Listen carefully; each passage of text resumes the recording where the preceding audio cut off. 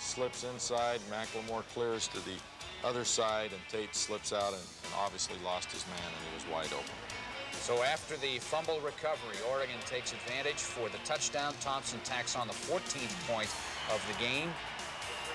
And Oregon in good shape early, and it will get even better. Barr to pass on a first down play after the kickoff. Anderson almost had an interception. And then on the next play, second and 10, Barr pressured a little bit, and Chad Cota with his second interception in two weeks. Nice job by Chad uh, sinking back into the middle. He read the Barr's eyes and came up with a big turnover, turn takeaway here. Good pass protection for Barr. Barr just sees, he doesn't see Cota come underneath. We've got a defender over the top, but Cota does a nice job hanging onto the ball and getting the turnover. It only takes one play to put it in the end zone. O'Neil steps up, fires, and Deadweiler is behind the secondary and into the end zone for a touchdown from 49 yards out. Very interesting uh, play here, uh, reminiscent of uh, a touchdown that Ronnie Harris got against Cal. You can see O'Neil does a great job coming up underneath the pressure on the play-action pass. And Derek Deadweiler just runs right by the Cal defenders, and Danny throws it in there nicely after avoiding the rush. So Thompson now comes in to kick his third extra point in the first 10 minutes of this game. 21 nothing. This, I mean, in a reverse way, reminded me of what happened down there a couple of years ago when they had the big first quarter. Nice play by John Tomopiao, senior from the uh, Bay Area. Makes a tackle on Zumwalt for a loss. Second down and three.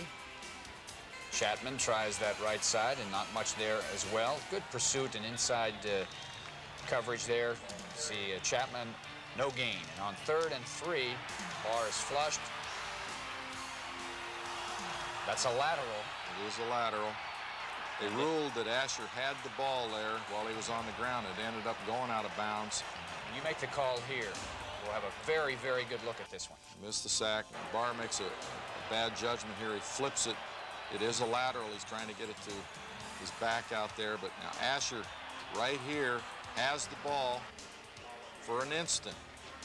But uh, probably not a very good call by the officials. I don't think he ever controlled the ball while he was on the ground. Unfortunately, after the turnover, unable to put it in the end zone, and ooh, hit the pipe and it goes through for Tommy Thompson. He's a billiards player. 39-yard field goal at the end of the first quarter. It's 24 to nothing, and I think there were about 35,000 fans in attendance. They're kind of going like this, what in the world's going on? Well, when we come back, we will have the second quarter highlights, so stick with us. As we enter the second quarter, Oregon is leading 24 to nothing, and they're going to expand upon that lead momentarily. But first, Cal with a football on the first possession of the second quarter. Barr flushed. Jeremy Asher runs him down. Another sack for Asher. He uh, had a very impressive football game. Roll out here. Anderson kind of got his leg grabbed a little bit, but uh, Asher comes on secondary contain and makes the tackle for a six-yard loss. And so on third and four, Barr back, and there's number 44 again, getting some help from David Massey. Blitz again against their two-back set. They were really not very well prepared for this. Then they started spreading the formation, and we didn't do a very good job of covering. Asher kind of missed that tackle. He was the first one there, but Massey uh, came into securing. The old headlock on. So Oregon gets it back, leading 24-0. Neal, nice job of getting out of the pocket there and completing the ball to Deadweiler. Gets that left foot inbound. Good protection. The coverage was good over on the left side, and Danny came back to the right side and found Derek improvising with a little out route for a 13-yard gain. And then the same two will connect on the next play from the 35-yard line. This one, he really does a nice job of splitting the seam. Stumbled, almost took it all away, but a real nice uh, catch and reception by Gary. You see good protection here and a slant pass to uh, Deadweiler, and he breaks a tackle. Oop! Stumbles trying to break another one. And then on first and 10, a little uh, fool duggery Cristin McLemore, former high school quarterback, to Willie Tate for the touchdown, and that is our play of the day. Well, that's uh, just simply called a double pass, Todd. Uh, we uh, line up tight end Tate to this side. We're split here, single back. We had uh, Derek Deadweiler here and Cristin McLemore wide, number six. And it has to be a lateral pass. The, the pass has to go backwards. So O'Neil, as you'll see uh, on the replay, takes a, a, very short one and a half step drop and fires the pass back. McLemore fakes like he's going downfield, comes back deep. So the pass is caught as a lateral. Derek Deadweiler blocks for him, and Willie slams this man and then goes to the corner. And as the people react to the quick screen, which is a play we basically opened up with a quick pass we've thrown quite a bit, McLemore just calmly throws it to Willie Tate, who's wide open in the corner of the end zone. Double pass touchdown. Here it is on the replay. You can see the pass is a lateral. Derek Deadweiler really doesn't even need to block. They hold up tight, and, and uh, Willie's behind everybody. And McLemore, just like in his old quarterback days in high school, just threw a beauty right in there. That was uh, very nice looking. Tate's second touchdown of the game, and then uh, doink. The ball did not go in the pocket this time. One of the uh, few misses that he's ever had, other than I think his very first attempt. Uh, you might be right. Uh, so unfortunately, it's only 30 nothing. And we allow them to get good field position on, on the ensuing kickoff. They complete a pass there. We get great pressure here, and Jeremy Asher comes in for the sack. You see again, we're blitzing in their two-back set. Massey and Asher coming up inside. Barr tries to scramble out of there. We've got uh, contained by Isaac Walker on the backside. He had nowhere to go. And then uh, an unfortunate play coming up here, third and 20 and the ball is thrown into the end zone. It is ruled pass interference on Dante Lewis. This is a good call. He played the man. He actually hit the man. The ball hit him in the back of the helmet. Had he played the ball, he could have had the interception. It would have been incomplete. Second down, they score. Lindsey Chapman over for the touchdown, and so California gets on the board. It's 30 to 7. We still have six minutes to play in the second quarter. Ricky Whittle, a couple of series later, with under three minutes to play, breaks it outside for 12. Ricky started to, to run pretty aggressively near the end of the first half, and I thought he ran extremely well in the second half. Nice straight arm there. That's vintage Ricky Whittle. Shedrick gets a nice block out in front of him. We had a few spectators that were looking like they wanted to block but didn't in front of him there. Well, Juan took out two guys on that play, so he made up for that. Second down and five. O'Neil pass near side. Great catch by Deadweiler. And then on first and 10 from the 49, in the seam, number eight again. That one was good for 22 yards. Good pass protection. O'Neil's got a pocket. Throws in the seam against the zone defense. Nice job by Derek. So now time is running a little bit short. You're trying to get some kind of points out of this drive, hopefully in the end zone. Again, this time Cristin McLemore with the reception. I think there's 34 seconds left on the clock as we throw this screen. We have one timeout left. Uh, should have taken that play outside. I think he might have scored if he had. Uh, and now we don't get lined up. We don't look at the clock. We don't realize what's going on. And we totally mess this up and don't even get a field goal attempt off as that pass ends the half. Yeah, that's a real shame because even though the score is 30 to 7 and the Ducks feel very comfortable with that lead. As it proved out, uh, there were never enough points on this day for either team. When we come back, we will have a special feature. We'll hear from Juan Shedrick, the senior fullback. Ready for the third quarter. Oregon will get the football to start the third period of play. And uh, first offensive drive, Coach, I know you wanted to uh, regain that momentum, and uh, unfortunately, just uh, didn't quite happen as you go up top early, intended for McLemore, and then on second down, the running play to Burwell. Just tripped up at the line of scrimmage, but does get three. This is uh, probably the worst thing that could have happened to us coming out at the half. We wanted to move the football and go down and score, but we end up three downs and out. Incomplete pass to Tate. Two of the three were passes. Uh, uh, we now punt the ball away, and Cal, on their very first play, throws a little screen out here, and I think Chad Cota got clipped right there, but it was not called. We missed one tackle, we missed two tackles, and it's a touchdown.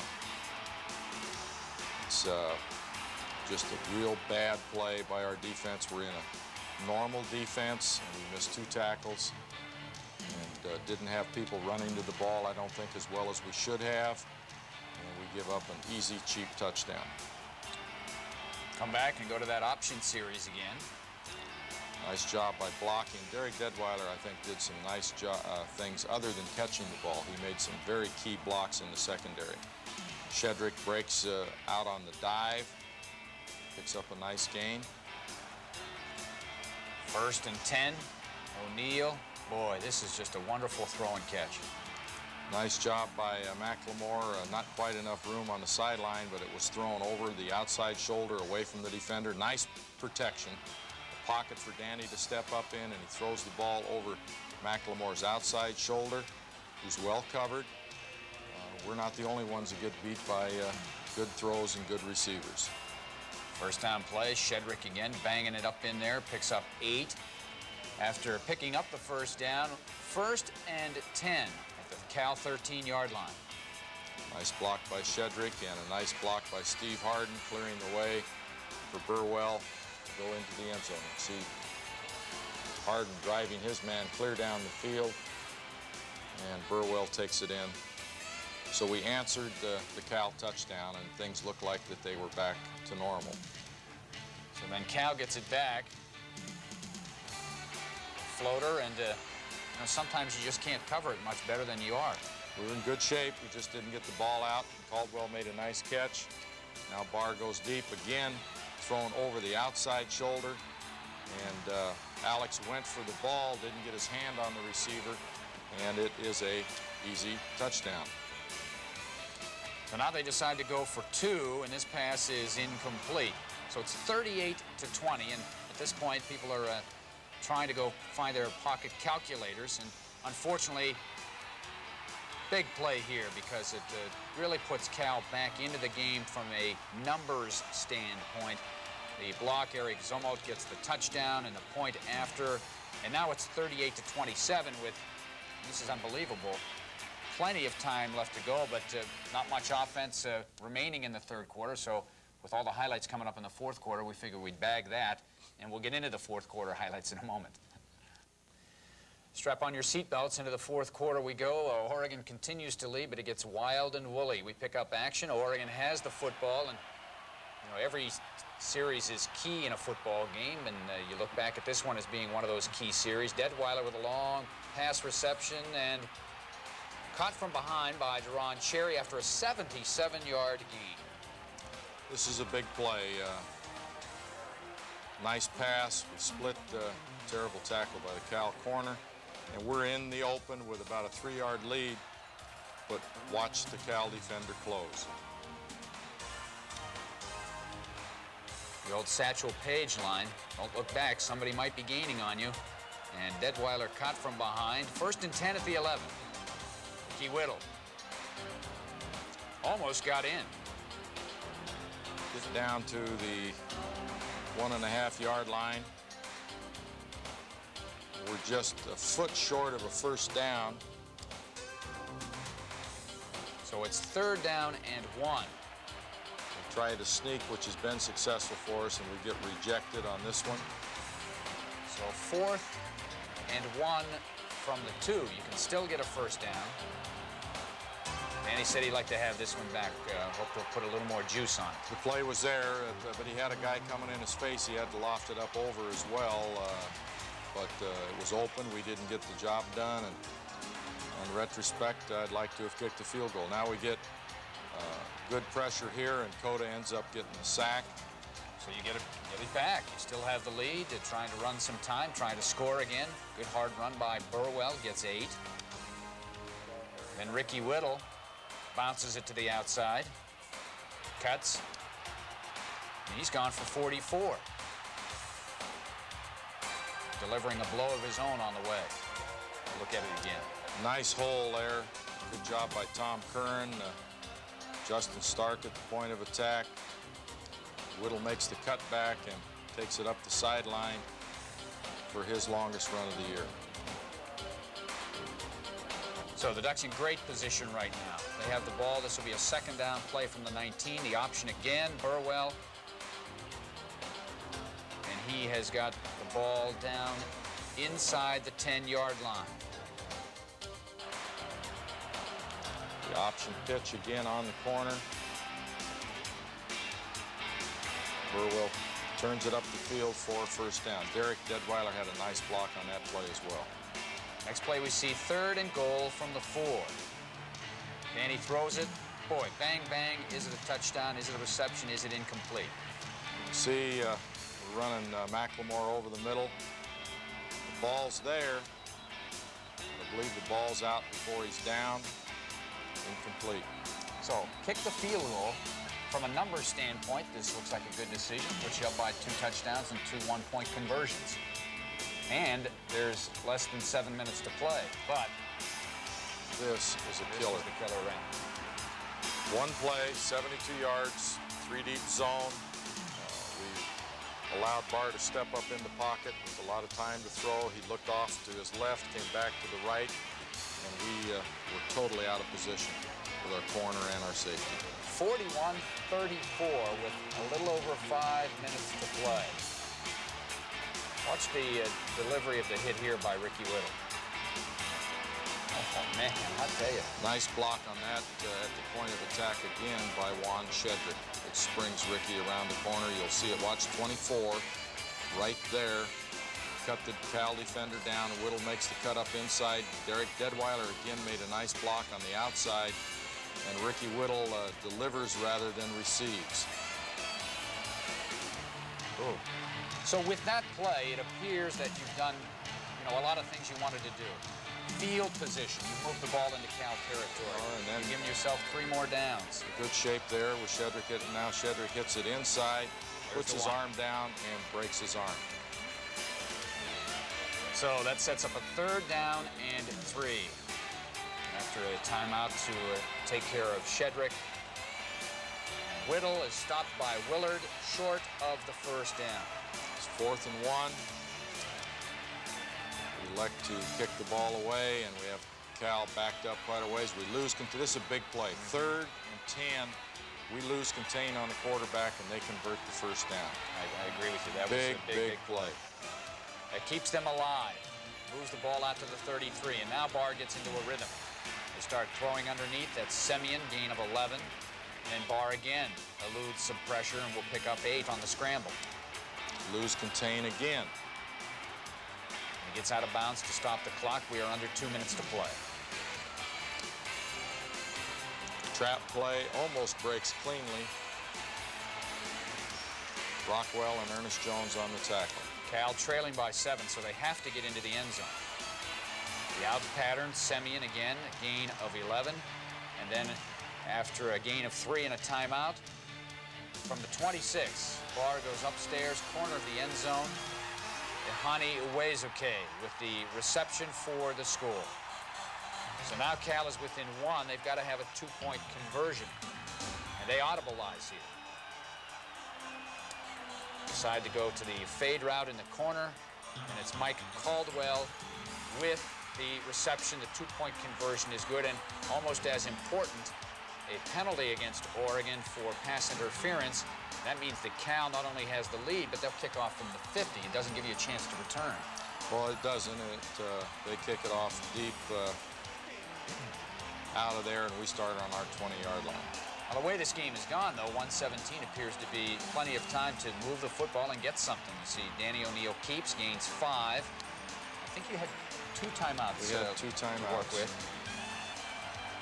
On a third and five play, there's Deadweiler again. His 11th reception of the day takes the ball out to the 43. 43-yard line, uh, nice, nice pass here, and on the slant route, we uh, get a, a procedure penalty on the next play, so we go back to the 37-yard line. And then on the, that second down and 15 play, Danny is really only real bad throw of the day. It's overthrown. Cal intercepts, and that's the ball game. So California with a miraculous comeback, the largest comeback in the history of Pac-10 football, and a very dejected Oregon sideline. The final play of the game, and California comes away with its second conference victory of the year. Let's take a look at the, some of the numbers. They are eye-popping when you talk about offensive numbers. First downs, Oregon with the 28, rushing 281, passing 333, 614 in total offense. Uh, incredible performance. Dave Barr threw for 368 for California. They uh, had a rough time running the ball most of the afternoon. Flip the page, you see turnovers, 3 to 1. The Ducks plus 2 in that category. The punting, that includes the blocked punt. Third down conversions, very good for Oregon once again. Six sacks. Cal had allowed only four total going into the ball game. Individually, Danny O'Neil once again over that 300-yard mark throwing the football. Barr also threw for over 300 yards.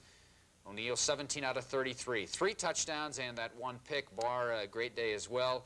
Whittle and Burwell both over the 100-yard mark. Second year in a row that Whittle has topped that century mark against California.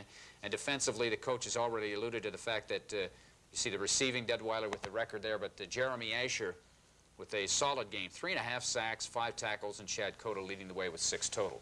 After the game, we talked to some of the players.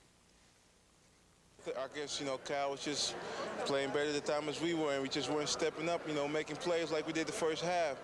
And they just kept throwing the short passes. You know, we lost contain. I lost contain one play and just kept on moving the ball. We've practiced it for two years now almost, and we wanted to run. It's been in the game plan, and they scratch it or we don't run it. And uh, called it.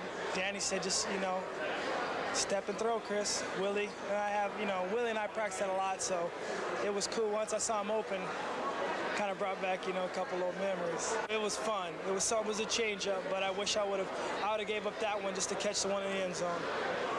I, uh, that one's on me. We was executing well in the first half. In the second half, it seemed like they just made big plays. It, they really didn't do too much different. They just make big plays and it hurt us. They blocked the punt and uh, they got a couple deep throws downfield for a touchdown and uh, you know it hurt us. I thought we were gonna come in the second half and blow them out, but it turned around on us. I don't know. I don't know what happened, but that's right. We're gonna come back next week strong and get USC. It's pretty heartbreaking because um, we tried real hard in practice and we tried real hard in the game, and it just seemed like they kept coming back. And we got um, a 30-point lead at halftime, and um, you know the guys came in kind of like, well, we got the game all around, and everybody was saying, what about Wake Forest and Montana when they kept coming back? And um, you know, we tried to keep the momentum coming, but it never came back. I don't know what to say. I don't think there's any reason. I think uh, the reason why we lost is because they played a good game. Uh, I don't think it was because we played a bad game. I think one of the things that might be important for your team as well would be to have that home field advantage back, to uh, have a big crowd to get them behind your football team. Well, it would be. Uh, it'd be nice to fill up Autzen Stadium and, and have it rocking and have people uh, supporting the Ducks and uh, that confidence that ebbed and flowed in the game at Cal. Uh, we need to, to, regain it at home uh, this Saturday. Remember, 337 start, the, the Ducks and the Trojans. We'll see you next week. The Rich Brooks Show is a production of the Oregon Sports Network.